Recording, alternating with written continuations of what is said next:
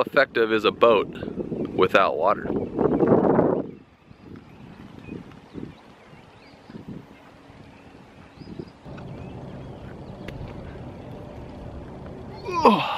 Good morning. Today's a pretty exciting day. I am shooting my intro videos for MikeJWatts.com, and I don't know if you've seen that, but I've been posting my future website that's gonna come out next month uh, on MikeJWatts.com. So I have those videos that'll be shot, and then a massage this afternoon, and then today is a massive house cleanup day because from my office moving and from us being gone for two months, we need a little bit of house organization. So that's going to take place this afternoon. Have a great day, guys. Check out this mailbox. There's a bird nest in the mailbox. It's probably the mailbox that owns the house with the holes in it. Cameras are ready. Lights are ready. The longest part to get ready was what clothes to wear because I realized nothing was clean and all I have is stripes and checks.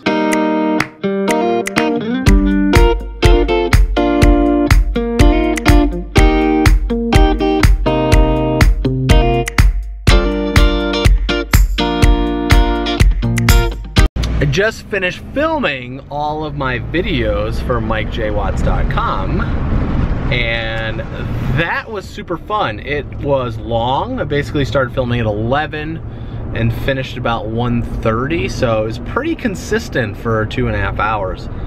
Three videos for MikeJWatts.com, another video for the Freedom Family website that we're getting ready to create.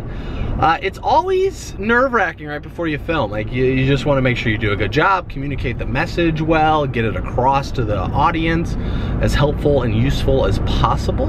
Overall, I just took a deep breath and start shooting and you wish for the best that the audience finds value in what I am putting out.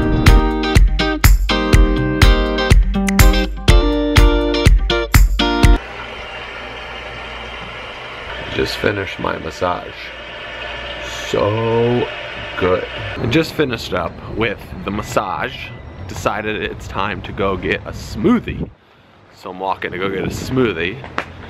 And it's gonna be delicious. Really looking forward to getting my bike back tomorrow.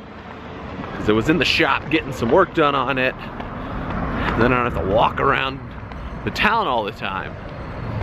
Be able to motor myself. Lots of naked people. Okay, this place is awesome, called Be Good. It has kale salads, quinoa bowls, smoothies, sweet potato fries. It is fast but real food. So when I eat here, I kind of think I'm in California sometimes because they have places like this everywhere. If you make it to Portland, Maine, Be Goods is where it's at.